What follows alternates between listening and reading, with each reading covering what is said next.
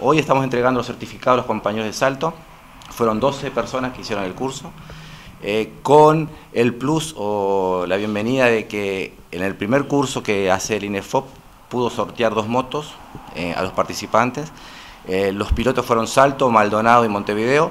Una de las motos quedó en Montevideo, la otra fue sorteada entre Maldonado y Salto y bueno, se, la trajo Salto, así que tenemos a la, compañera, a la participante ganadora también. Así que hicimos entregas de los certificados, que no es menor el certificado porque es algo que los va a habilitar a partir de enero de 2018, todas las intendencias del país van a entregar un carné habilitante para los, las personas que hacen el trabajo en moto, o sea, los delivery llamados, los repartidores de moto, van a tener que circular con ese carné y los que lo habilita va a ser justamente este curso. Es un curso concreto de 12 horas, 6 horas teóricas, 6 horas prácticas, eh, dadas por una ECA que INEFOP las está financiando y supervisando. Y bueno, este fue el inicio, fuimos piloto como departamento, así que apostamos que de, ahora en adelante hasta noviembre sean muchos los cursos, sean muchos los compañeros que puedan hacer esta capacitación. Y bueno, fue lo que le, pedimos a ellos hoy, ¿no? a estos 12 participantes, que sean un poco la réplica, que sean un poco el portavoz para los compañeros, una manera solidaria de decirles, bueno, hacer el curso valió la pena, vale, y bueno, eh, más que nada para cuidar la vida de cada uno y para cuidar la vida de los otros en la tarea del día a día que hacen ellos. ¿Qué duración tuvo y cuántos participantes en el inicio?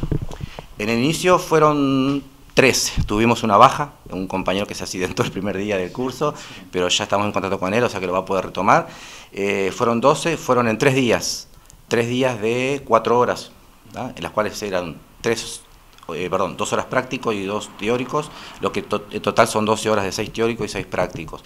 Contamos con el apoyo de la Intendencia del Centro Comercial, se ejecutó en el Centro Comercial la parte teórica y la práctica de Intendencia se dio el predio de lo que es en sí la parte de, tránsito, en donde se hace la prueba de, en cuanto a moto. Eh, la inscripción es online, o sea, las personas entran a la página de INEFOP, www.inefop.org.uy. Ahí hay, eh, hacia la derecha de la pantalla, hay un, dibujito que hay un casco, un chaleco, está en amarillo que dice convenio una C Inefop.